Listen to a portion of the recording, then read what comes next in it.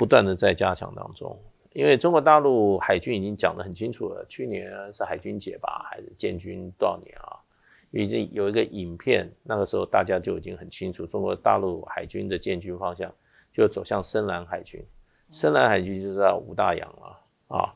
那基本上我觉得 priority 前提还是太平洋，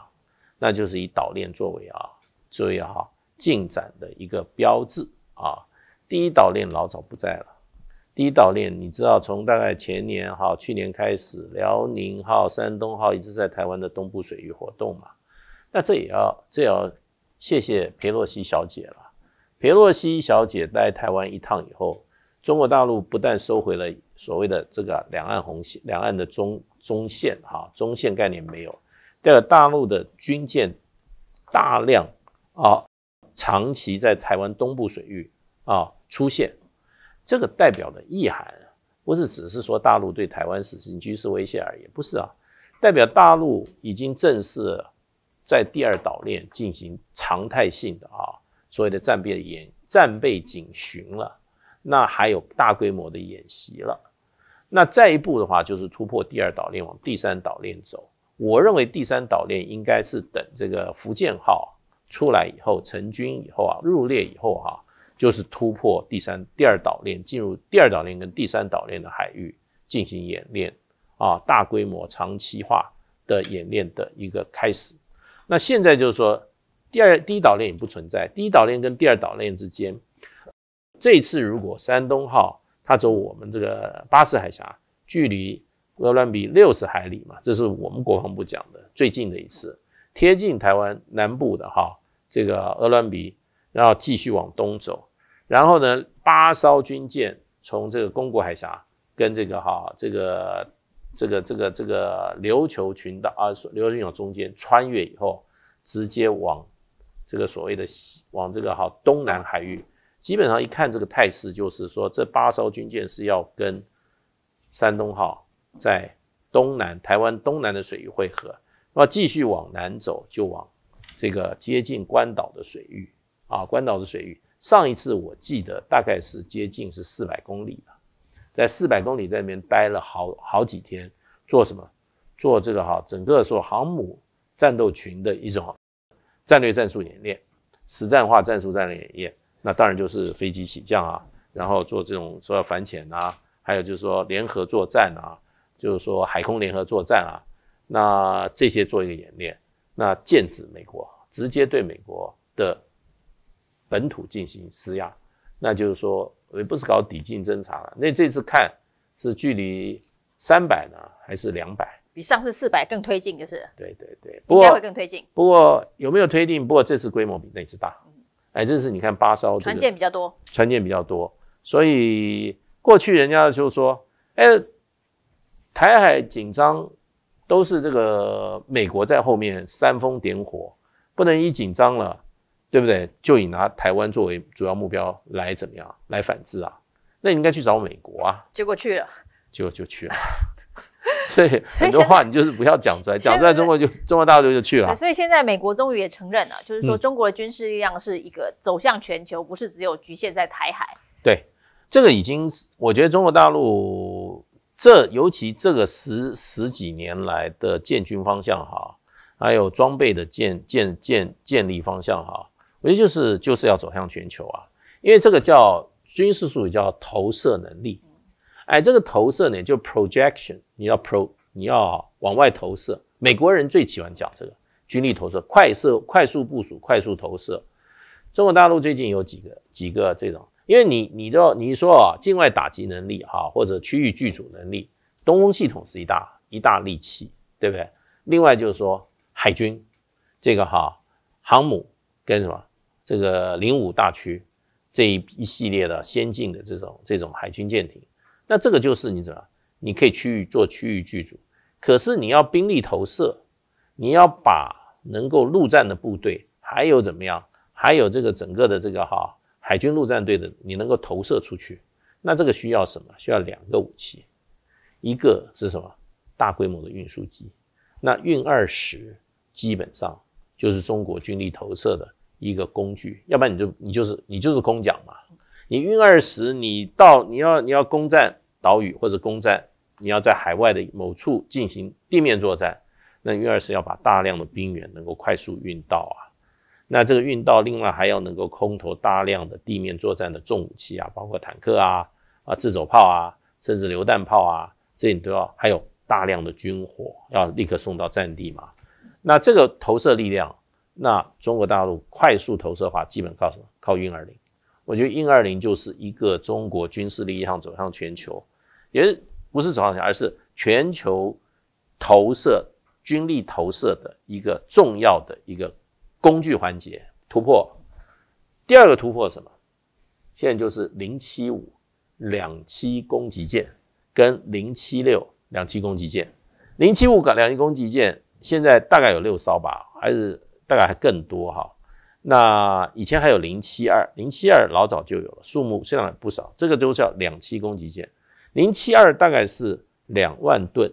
啊，零七五是四万吨，零七六也四万吨。可是最近零七六给大家看到的讯息啊，是零七六上面也有弹射跑道。那通常这种是所谓的哈，呃，怎么讲呢？它不是供战斗机起落，人家这个弹射跑道是做无人机的。因为这种零七六本来这个直直，就是说大陆的这种哈反潜还有攻击性直升机是可以降可以停在这个哈四万吨的这个这个哈。所以零七五的这个哈两栖攻击舰上面，那这两栖攻击舰基本上是什么？也是一种兵力投射，因为它不像航母，航母是一个什么？一个大飞机的战斗机的平台。那这个零七五跟零七六上面基本上它有气垫船，它这个气垫船可以怎么样登陆用的？登陆占领用的。登陆占领用的。而这个气垫船大道里面可以放装甲车，然后还有人员，把人员。带，然后呢，海军陆战队可以到一千两百到一千五百个军员，就在这个两栖上，因为它四万吨非常的大，所以它又是一个兵兵力投射的利器。那所以这个基本上就是说，你要兵力投射的话，以现在美国的第一个就是说，你有这个大型的运输机；第二个，你有这两栖攻击舰；第三个，海外基地。美国的海外基地基本上在八十个国家有将近六百个基地。对不对？这是他二次大战以后霸权的一个基础。那美国人今天就在一直在算呢，就说中国大陆第一个吉布地，第二个这个云亮港，第三个啊所罗门，他们都算出来了。那是不是另还有在西非啊？可能啊跑到这个非洲，可能伊索比亚会给他一个基地，未必不知道。那美国每天都在写报告啊，下一步中国大陆就是海外基地。那现在中国大陆只有一个吉布地。就一个吉布地，吉布地这个这个这个不难，因为这个国家的立国目标就是让外国来建立军事基地的，靠着赚钱收租金，收租金。那加上这个云量，云量是不是中国大陆的？那美国的预测就是说，你看“一带一路”修了那么多港，都是中国大陆港，这个很多港口被中国大陆的这个哈呃已经租借下来经营了，所以这个印度就很怕，因为斯里兰卡有中国大陆建的这个海港。那就很怕变成中国的海军基地啊，所以在印度洋方面，然后再到波斯湾，然后再到非洲，然后再往南太，美国到处每天要草木皆兵，在写了好多报告。不过你要军国中国继续走的话，这是必然的，这必然的。我们讲两栖攻击舰，像日本讲了半天什么出云号啊，什么什么什么什么什么什么什么这些号，基本上就四万吨两栖攻击舰了。它上面它也是它的舰载机是所谓的 F 三十五。F 三十五是垂直起降的，所以它不是不是不需要滑行跑道，不需要滑行跑道。那今天福建号基本上四十在四十架战战舰载机，然后它是电磁弹射。你知道美国十艘航母里面只有福雷福特号吧？呃，是用电磁弹射哦。雷根号、福特号吧，如果没记错，其他都还是所谓的蒸汽弹射的来。所以中国大陆这个。福建号是直接跳跳带越带，从这个好滑跳式的，不经过这个所谓的蒸汽弹射，直接走到电磁弹射，它的速度快，速度快，弹力大，所以福建号出来以后，就战略上会改观。那我认为就是说，福建号应该是中国大陆从第二岛链走出走入第三岛链，突破第二岛链，进入第三岛链跟第二二岛链的水域的一个怎么样重要的一个工具。那可能也就是未来一年，因为最近看起来福特号的呃那个那个福建号的上面的第三条所谓的电磁弹射跑道轨道，已经上面的这个哈搭载的棚架已经拿掉了，那进行这个海测，海测过去大概都是一年左右。一年左右，另外还有就是说，它的舰载机，那么中国大陆的这个歼歼三十五嘛，好像歼三五嘛，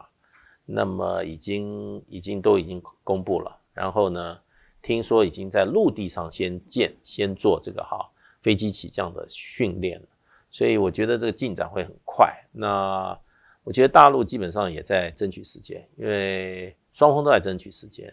那走向全球，我觉得，呃，是一步一步正在先满步太平洋再说。呃，以太平洋，我觉得就是说三个岛链突破，然后呢，到突破到第三岛，第三岛呢就是夏威夷这一线了。那么去年俄罗斯的太平洋舰队已在夏威夷附近哈举行联合军演了哈，很长一段时间。那么会不会在下一次的巡航联合巡航就不走这个？白令海北边呢，它直接穿越往这个夏威夷第三岛链的逼近，那么就是中中俄海军联合巡演。那等福建号出来以后，那么比较这个演练比较成熟的，可能就是山东号啊，它可能会第一个是突破第二岛链，在第二、第三岛链跟第二岛链进行啊这个哈呃演习军事演习的。我估计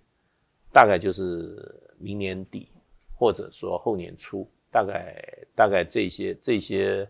呃战备部署跟它的整个的这个所谓的这种哈啊突破岛链的这种军事实践就会达成。